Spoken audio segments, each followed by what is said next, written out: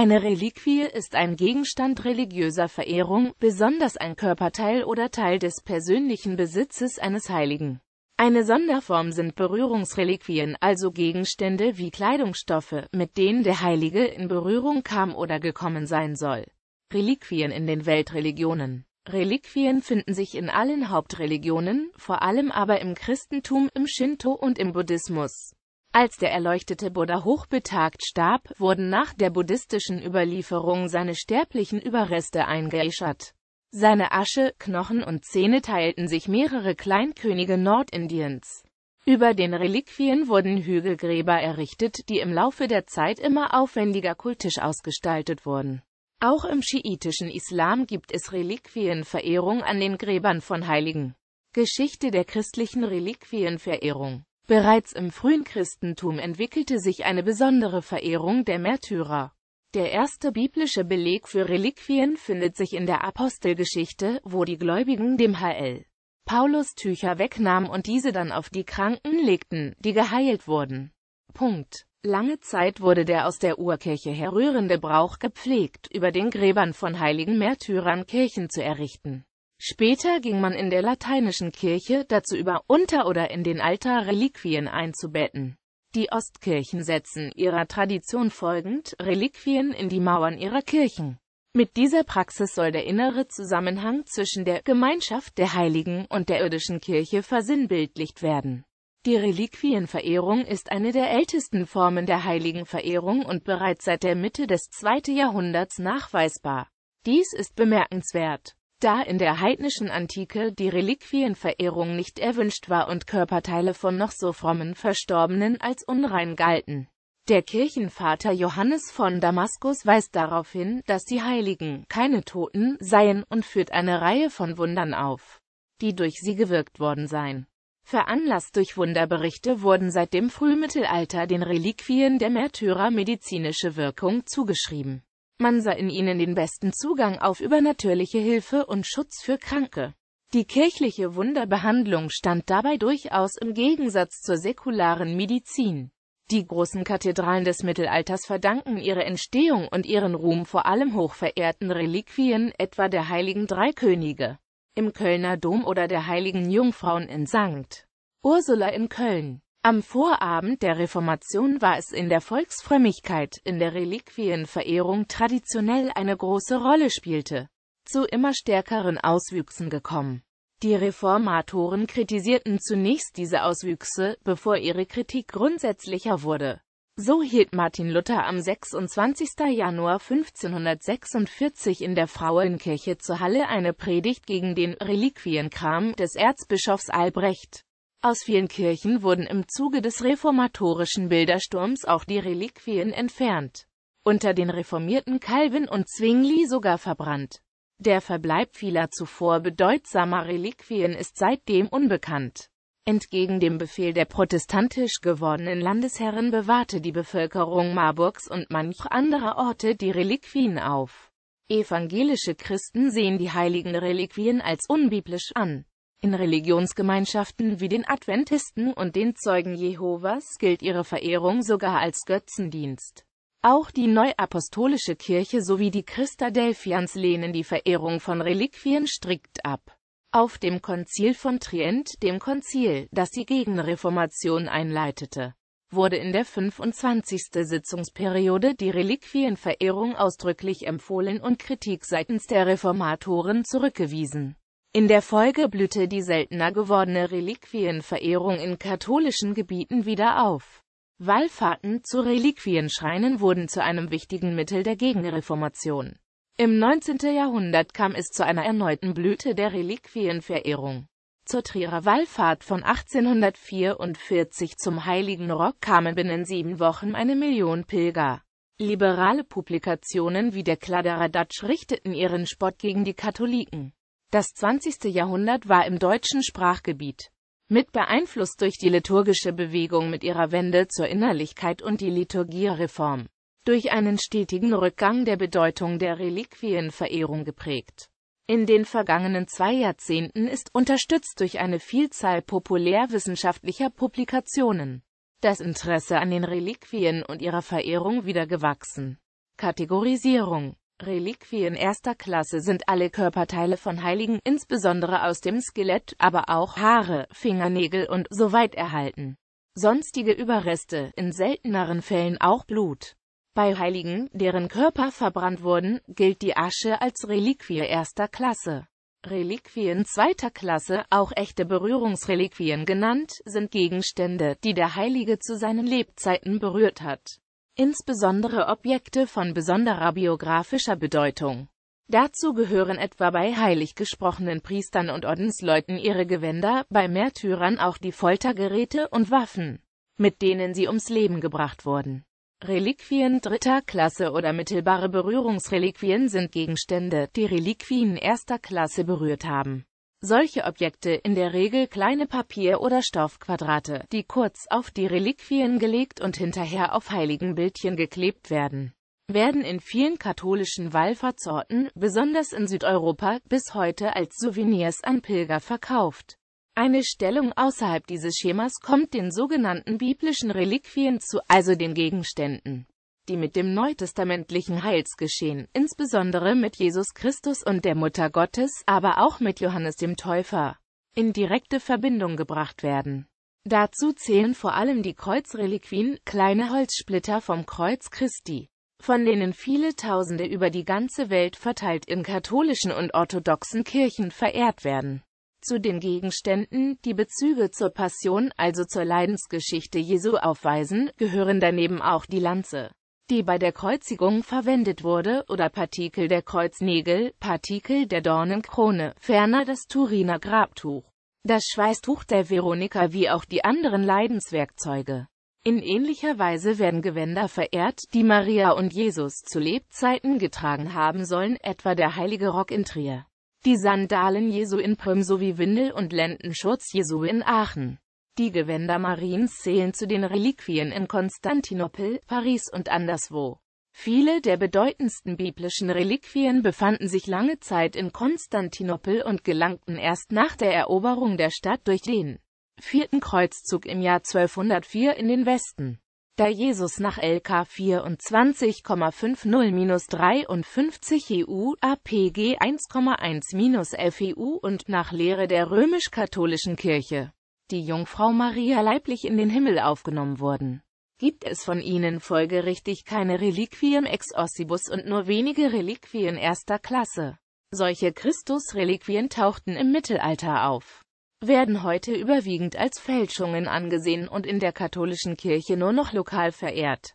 Das kanonische Recht verbietet Katholiken den Handel mit Reliquien. Katholiken dürfen solche Objekte zwar erwerben, sie besitzen und verehren, aber nicht weiterverkaufen. Zulässig sind lediglich das Verschenken von Reliquien an andere Gläubige und die Rückgabe an die Kirche. Wunderwirkungen Vor allem im Mittelalter wurden den Reliquien viele Wunder zugesprochen. In der Hagiographie sind Zeitpunkte solcher Wunder oft die Inventio von Reliquien sowie die Translatio der heiligen Gebeine von einem Ort an einen anderen Ort etwa bei der Auffindung des Heiligen Kreuzes oder bei der Überführung der Gebeine des hl. Nikolaus von Myra nach Bari. Die Lebensbeschreibungen der Heiligen wurden in Hagiographien gesammelt, wie der Goldenen Legende oder den Werken des Cäsarius von Heisterbach. Ihre große Verehrung sowie Wundergeschichten lösten während des Mittelalters eine allgemeine Suche nach Reliquien von Heiligen, insbesondere solchen von Märtyrern, aus. Dabei schreckte man auch vor Entwendungen der heiligen Leichname nicht zurück, wie Z. B. in dem von Einhard verfassten Translationsbericht über die Überführung der heiligen Marcellinus und Petrus von Rom nach Michelstadt Steinbach zu lesen ist. Nachdem die Kreuzritter während des vierten Kreuzzuges im Jahre 1204 Konstantinopel erobert hatten, wurden hunderte kleinste Teile des Kreuzes das der Überlieferung zufolge die Kaiserin Mutter Helena um 325 von Jerusalem nach Rom und Konstantinopel gebracht hatte, über die Länder Europas verstreut. Zahlreiche Kirchen behaupteten infolgedessen den Besitz eines Partikels des Kreuzes. Der französische Architekt Charles Roux de Fleury unterzog sich der Mühe, die Gesamtmenge aller Kreuzreliquien zu ermitteln, und kam auf etwa ein Drittel eines Kreuzes. Die früher immer wieder kolportierte Behauptung, Erasmus von Rotterdam habe gespottet, die angeblichen Splitter des Kreuzes Jesus reichten aus, um daraus ein ganzes Schiff zu bauen, ist falsch. Im Enchiridion Militis Christiani erinnert er lediglich daran, dass der Besitz von Kreuzesreliquien ein Nichts ist, verglichen mit der Kreuzesnachfolge. Beim Grabtuch von Turin steht die kirchliche Anerkennung als Reliquie nach wie vor aus. Das Interesse an Reliquien lässt sich auch dadurch begründen, dass naturwissenschaftlich oftmals unerklärliche Phänomene im Zusammenhang mit Reliquien bekannt wurden. Hauptsächlich die Unversehrtheit der heilig gesprochenen oder bestimmter Organe bzw. Teile ihres Körpers sind hier zu nennen. In der Pfarrkirche St. Hildegard und St. Johannes der Täufer in Eibingen im Rheingau wird der Schrein der Hildegard von Bingen mit Herz und Zunge in unverwestem Zustand aufbewahrt. Auch die Ganzkörperreliquien einiger Heiliger stehen in der Tradition im Ruf der Unverweslichkeit. Christliche Bedeutung Unter Christen verlangt die Pietät grundsätzlich die Achtung auch vor dem toten Körper. Umso mehr wird bei Christen aus einer religiösen Gesinnung heraus den sterblichen Überresten jener Menschen Ehrfurcht erwiesen die zu Gott gegangen sind. Reliquien dürfen nicht auf magische Weise missverstanden werden. So als ob ihr bloßer Besitz das Heil garantiere oder sich mit ihnen bestimmte Wirkungen erzielen ließen. Vielmehr ist es im katholischen und auch orthodoxen Verständnis die Fürbitte der Heiligen bei Gott, der eine bestimmte Hilfe zugeschrieben wird. Nicht aber irgendeiner toten Sache als solcher, denn die Reliquie steht nur als Stellvertreter für den Heiligen.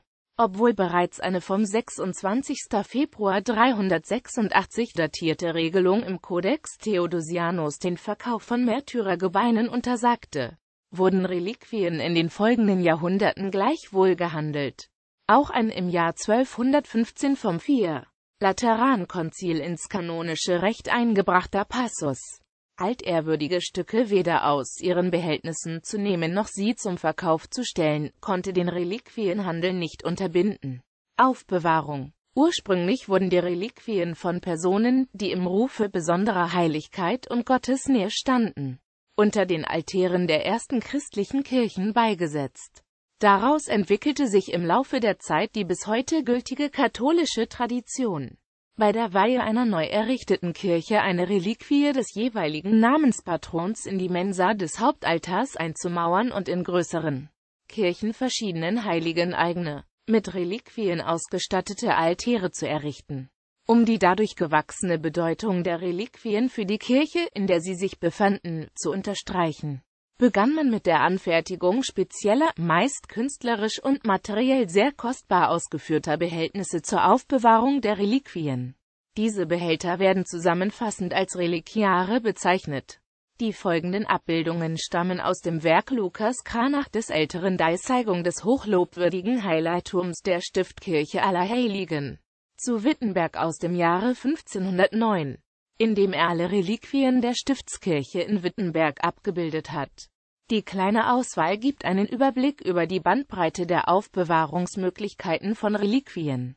Punkt. Punkt. Punkt. Punkt. Reliquienschrein Die älteste Form des Reliquias ist der Reliquienschrein. Dabei handelt es sich um einen meist reich geschmückten, dem Sarkophag des Heiligen entsprechenden Kasten in Originalgröße oder miniaturisierter Ausführung. Berühmte Reliquienschreine des hohen Mittelalters sind der Dreikönigenschrein im Kölner Dom, der Karlschrein und der Marienschrein im Aachener Dom, der Marburger Elisabethschrein und der Eibinger Hildegardisschrein sowie der St. Maurus-Schrein, der sich seit 1888 auf der westböhmischen Burg Bickav befindet. Erste vom Typus des Schreins abweichende Formen des Reliquiars entwickelten sich vor allem in der Ostkirche, darunter die Staurothek eine flache goldene Lade zur Unterbringung großer Kreuzreliquien, ein bekanntes Exemplar aus Byzanz die Limburger Staurothek, befindet sich heute im Limburger Domschatz und das Enkolpion, eine meist kreuzförmige Reliquienkapsel, die vom Priester an einer Kette um den Hals getragen wurde. Reliquienkreuz, Kreuzreliquia im Westen übernahm man im Verlauf des Mittelalters zunächst die ostkirchlichen Reliquiatypen von denen als diplomatische Geschenke sowie besonders infolge der Plünderung Konstantinopels durch venezianische Truppen im Jahre 1204 zahlreiche Exemplare nach Mitteleuropa gelangten Daneben traten Behältnisvariationen wie das Reliquienkreuze auf zwei bedeutende Beispiele hierfür finden sich mit dem als Gelmenkreuz gearbeiteten Reichskreuz in den römisch-deutschen Reichskleinodien sowie mit dem Borghorster Stiftskreuz. Kreuzreliquiare für Kreuzpartikel sind etwa der Talisman Karls des Großen oder das Essener Kreuznagelreliquiar. Sprechende Reliquiare. Unter den Pilgern des beginnenden Spätmittelalters wuchs der Wunsch danach, die Reliquien auf ihren Wallfahrten unmittelbarer in Augenschein nehmen zu können. Vielfach stellte sich gegenüber den geschlossenen Reliquienkästen ein gewisses Misstrauen ein, zumal Reliquienfälschungen überhandnahmen. Daher wurde zunächst der Typus des sprechenden Reliquiars entwickelt, dabei handelt es sich um Behältnisse, die in ihrer äußeren Form dem Körperteil nachempfunden sind, dessen Überreste sich darin befinden. Reliquiare für Armknochen wurden als goldene Arme gestaltet. Bekannte Armreliquiare sind Armreliquiar Karls des Großen, Armreliquiar des HL. Quinten. Armreliquiar der HL. Elisabeth. Martini Armreliquiar. Basilius Armreliquiar Essen. Armreliquiar der Beatrix von Hulte. Armreliquiar des HL. Simon Sein. Fußreliquiare gestaltete man als goldene Beine, Schädel bzw. Kopfreliquiare teils als Reliquienbüsten. Wichtige Beispiele für letztere sind die Karlsbüste im Aachener Domschatz und die Schädelreliquiare der Apostel Petrus und Paulus in der Lateran-Basilika in Rom sowie der Pauluskopf in Münster. Die besondere Form des Sitzreliquiars findet sich im Reliquiar der Fides von Konk.